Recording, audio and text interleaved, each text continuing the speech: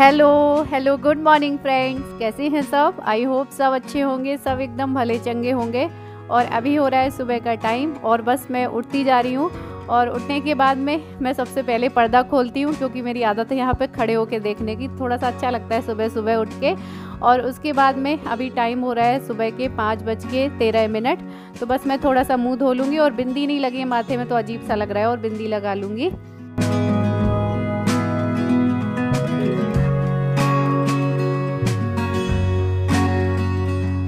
कहते हैं, बिना नहाए मेकअप नहीं करते हैं, लेकिन बिंदी मैंने लगा ली है, क्योंकि सुबह सुबह वैसे ही बहुत अजीब सा फेस लगता है, सूजा सूजा सा लगता है, और बिंदी भी नहीं है तो सूना सूना सा भी लग रहा था, इसलिए मैंने लगा ली है। और बस आते आते अभी हो गए हैं पाँच बीस, लगभग हो रहे हैं, और यहाँ पर सुबह के छः बजे सूर्य भगवान आ जाते हैं, जाग जाते हैं सूर्य भगवान। और चलिए सबसे पहले मैं आप लोगों को सुबह सुबह बालकनी का नज़ारा दिखाती हूँ, क्योंकि सबसे पहले मैं यहीं उठ के आती हूँ और बहुत अच्छा लगता है। एकदम एक अलग ही ताजगी वाली हवा आती है। ये देखिए सुबह सुबह चिड़ियों की, मुर्गे की आवाज़ और ठंडी ठंडी सामने पहाड़ों से, पेड़ों की हवा। तो बहुत अच्छा लगता है तो थोड़ी देर मैं यहाँ पर पहले खड़ी होती हूँ और बस घूम टहल के फिर लग जाऊँगी मैं अपने काम में।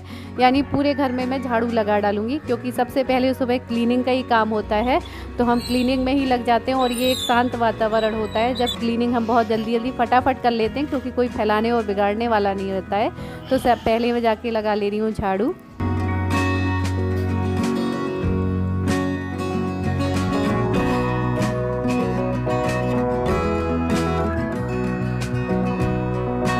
और आप में से कोई कमेंट करके कह रहा था, दी, आप उल्टी झाड़ू लगाते हैं, बाहर से झाड़ते हुए बालकनी की तरफ़ आते हैं, जबकि अंदर से बाहर गेट की तरफ़ जाना चाहिए। तो सामने क्या अभी काम भी चल रहा है? तो पूरी गैलरी भरी हुई है, सामान कुछ ना कुछ वहाँ रखा हुआ है और अक्सर गेट बंद भी रहता है तो इस वजह से मैं इसी तरफ़ झाड़ू लगा के लाती हूँ और गेट के बाहर मैं अलग से झाड़ू लगाऊँगी। और ये भी कहते हैं, सबसे पहले गेट के बाहर ही लगाना चाहिए तो वहाँ बहुत धूल मिट्टी हो रही है, मैं उसे बाहर अलग से साफ़ करूँगी, इसीलिए अभी मैं नहीं गई हूँ वहाँ पर साफ़ करने, पहले मैं घर कर डालती हूँ साफ़।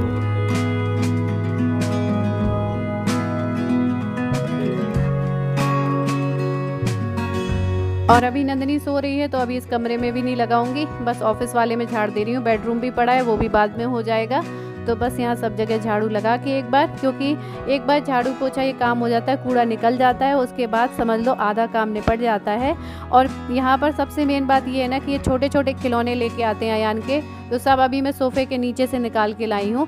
मैं इनसे कहती हूँ, बड़े खिलौने लाओ, लेकिन छोटे ये ट्रेन ट्रेन के ड्राइवर ट्रेन की पटरी, ये सब थी जो बिखरे बिखरे फैले रहते हैं पूरे घर में।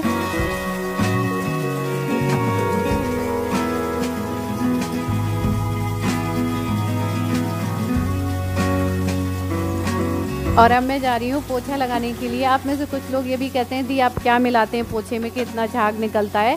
तो मैं क्या है लाइजोल पहले ही डाल देती हूँ। तब ये पानी ऊपर से गिरता है ना तो एकदम झाग बन जाता है तो ये मुझे अच्छा लगता है। बाद में डालते हैं तो झाग नहीं बन पाता है, पानी के प्रेशर से बन जाता है।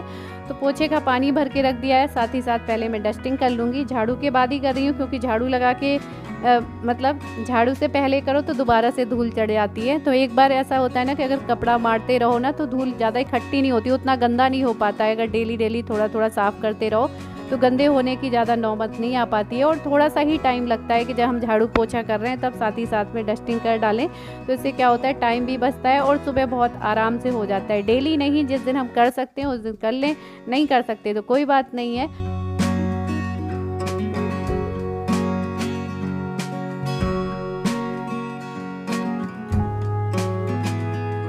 और ये भी है कि आज इनकी छुट्टी है तो मैं थोड़ा सा एक्स्ट्रा काम भी कर लेती हूँ, कुछ बहुत सफ़ाई का तो मुझे ये डर नहीं रहता है कि मैं लेट हो जाऊँगी। तो बस यहाँ किचन में आपको दिख रहा होगा फटा सा पैरदान पड़ा है। तो पैरदान मैंने पुराने कई कर रखे हैं किचन के, क्योंकि जैसे गीले हो जाते हैं तो इनको तुरंत ही एक दिन में बदल देती हूँ। इसलिए जो भी हैं पुराने उराने सब रखे हैं, क्योंकि किचन में बार बार बदलना पड़ता है। इसलिए वहाँ पर वही यूज़ कर रही हूँ पुराने वाले ही।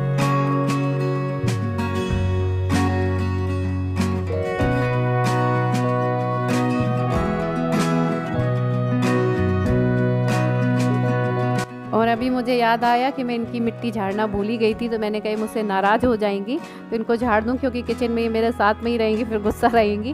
तो इसलिए थोड़ा मिट्टी मिट्टी सी चढ़ी हुई थी तो मैंने उनको भी साफ़ कर दिया है। और थोड़ी देर के लिए मैं जो ये कपड़े का स्टैंड है, इसको उठा के रख दूँगी अंदर, ताकि मैं बालकनी को भी साफ़ कर दूँ। और ये देखिए, अंदर रखने में ही इसकी छड़ निकल गई है।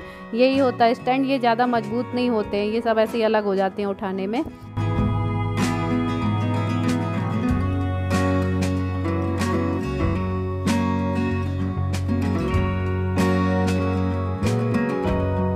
और बालकनी साफ़ करके मैं वापस से स्टैंड को बाहर ही लगा दूँगी, ताकि सबके जब नहाने का टाइम आएगा, तब तक ये कपड़े सूख जाएँगे, क्योंकि मैंने शाम को सुखाए थे और ये देखिए सूर्योदय हो चुका है और अभी सुबह के छः बजे मैंने बताया था करेक्ट छः बजे यहाँ पर सूर्य भगवान निकल आते हैं, मौसम साफ़ रहता है जब। तो ये देखिए छः बजे निकल रहे हैं और इसके बाद यहाँ पर मैं जा रही हूँ मेन गेट की बाहर की सफ़ाई करने। तो मैं आप लोगों को दिखाती हूँ कि यहाँ पर बहुत अभी डस्टिंग हो मतलब बहुत ज़्यादा मिट्टी हो रही है क्योंकि काम वाम हो रहा है तो मिट्टी सब जगह उड़ती है। और मैं जल्दी जल्दी में भूल गई, मैं चप्पल भी नहीं पहन के आ पाई तो ये थोड़े से जूते चप्पल बाहर पड़े इनको मैं स्टैंड में लगा के और फिर चप्पल पहन के फिर सफ़ाई करूँगी यहाँ।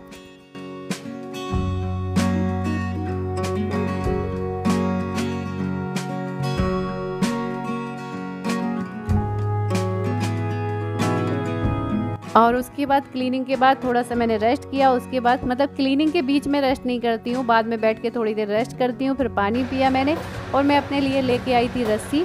तो जितना मैं कर सकती हूँ, ये नहीं है कि मुझे इतने बार करने हैं, उतने बार मैं रस्सी कूद करती हूँ, क्योंकि ये काफ़ी ठीक रहता है पेट के लिए।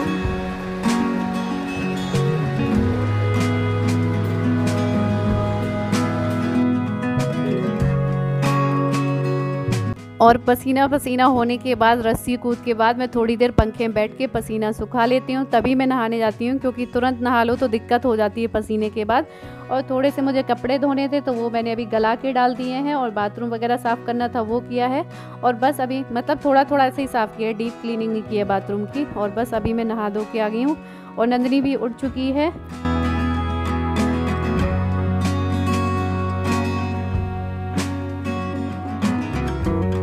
और आजकल के मौसम में अगर हफ़्ते में दो बार बाल धो लो तो वो भी कम है क्योंकि इतनी जल्दी जल्दी ख़राब होते हैं पसीने वाले इस मौसम में कि दो दिन बाद ही ऐसा लगने लगता है कि फिर से शैम्पू कर लो।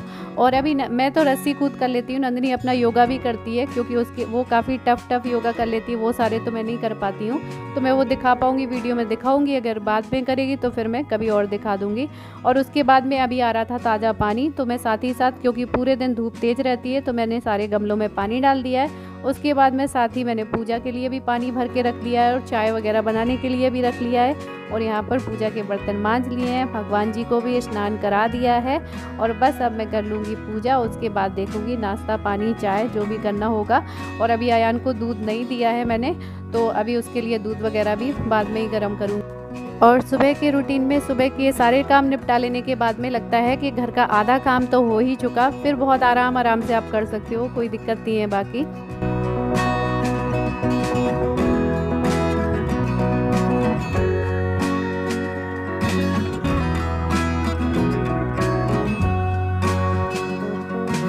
और अब मैं जा रही हूँ चाय बनाने, क्योंकि अब लगी है चाय की तलब और सर भी धुला है तो फिर कड़क चाय पीने का मन कर रहा है। तो मैं जा रही हूँ चाय बनाने और साथ में ही अयान के लिए मैं दूध रख दूँगी गर्म करके ताकि वो दूध पी के उठ जाएगा। उसकी आदत है कि जब वो नींद में होता है तभी मैं उसको दूध दे देती हूँ।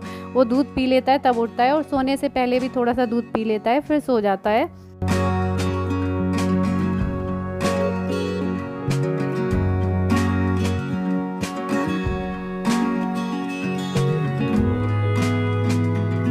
और फिर ये थोड़ा सा चीनी डला हुआ दूध रखा है एक अलग से और जो बाकी चाय वाय के लिए वो मैं भगोने में रखती हूँ तो मैं दोनों ही दूध गर्म कर लूँगी।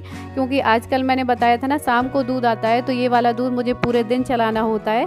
क्योंकि जहाँ से दूध आता है वो बोलती हैं कि नहीं, सुबह नहीं मिल पा रहा है तो इस वजह से फिर मैंने भी कहना बंद कर दिया। मैंने कहा, चलो, जिस टाइम मिल जाता है, उसी टाइम दे दो।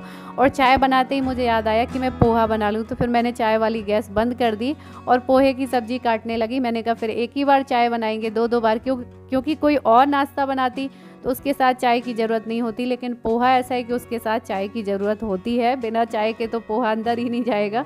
तो इसलिए मैंने कहा, चलो, चाय बना लेते हैं, बाद में बनाएँगे और पहले पोहे की तैयारी कर लेते हैं। वैसे ओट्स वगैरह आज बनाने का मेरा मन नहीं कर रहा था, क्योंकि छुट्टी वाला ही दिन होता है। जब ये ओट्स दलिया ना बनाओ, और कुछ अपने मन का मैं बना सकती हूँ, क्योंकि बाकी दिन ये मुझे नहीं बनाने देते हैं। तो इसलिए मैंने ओट्स ओट्स नहीं, सॉरी, पोहा निकाल लिया है और ये मूँगफली के दाने निकाल लिए हैं। टमाटर, प्याज, अदरक, हरी मिर्च, ये सब काट लिया है।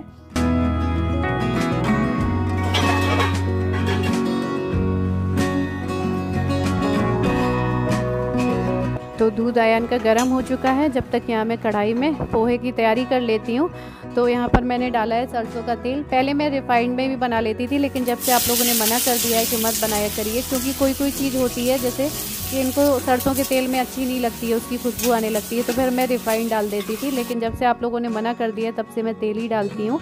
तो अभी प्याज वगैरह भुन रही है, तब तक मैं इसका दूध लेके आ गई हूँ और इनको भी मैं उठाऊँगी कि चाय वाय नाश्ता जब तक तैयार हो, तब तक ये उठ जाएँ, क्योंकि छुट्टी वाला दिन है, बाकी दिन तो जल्दी उठ ही जाते हैं। तो आज फिर मैं नहीं कहती हूँ जल्दी उठने के लिए। और यहाँ पर ये मसाले प्याज साथ में भुन ही रहे हैं पोहे की। पोहे के तो मतलब ये भी मैं पूरा तल लेती हूँ।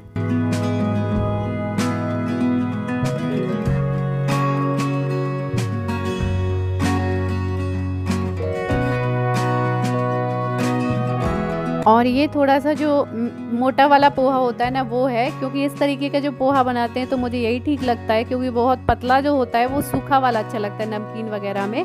और किचन में इस टाइम इतनी धूप आती है ना, आप लोगों को वीडियो भी दिख रहा होगा, इतना चमकता है ना, बहुत ज़्यादा, एकदम सामने ही सूर्य भगवान आ जाते हैं तो इस वजह से थोड़ा चमकीला चमकीला वीडियो बनता है। तो चाय नाश्ता बन गया है, नंदनी नाश्ता लगा रही है सबके लिए।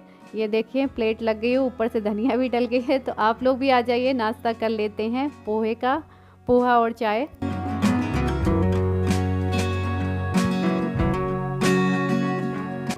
और नंदिनी ने बाकायदा वाइट वाली प्लेट में लगाया है। मैं अभी स्टील की उठा के ले आती और जल्दी से लगा देती।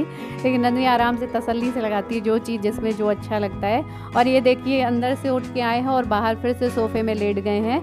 मैंने ये कहा था, ब्रश वगैरह कर लो ताकि नाश्ता करें। तो अभी इनका इंतज़ार करना होगा मुझे।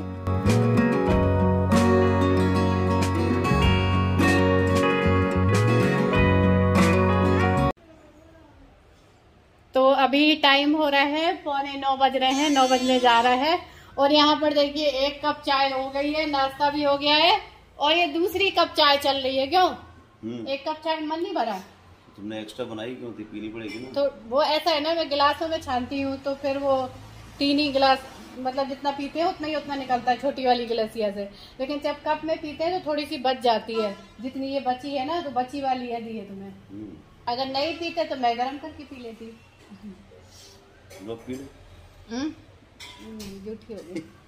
अभी क्या है मेरा जो छोटा वीडियो बनाया पता नहीं कितना बनाया मुझे नहीं पता। तो अभी मैं क्या है इस वीडियो को यहीं पर एंड कर रही हूँ। वीडियो यहाँ पड़ा था क्या? हाँ यहीं पड़ा था। वो जूठन गिरा दिया है। छोटा सा हाँ पोहा पड़ा है नीचे इधर पे। गिरा दिया है सोफे वो निकाल फेंकने वाली थी मुझे दिख गया। तो अभी क्या है मैं इस वीडियो को यहीं पर एंड कर रही हूँ। मिलूँगी आप लोगों से अगले वीडियो में। और वीडियो पसंद आए तो लाइक कर दीजिएगा न्यू है तो सब्सक्राइब हाँ आएँगे।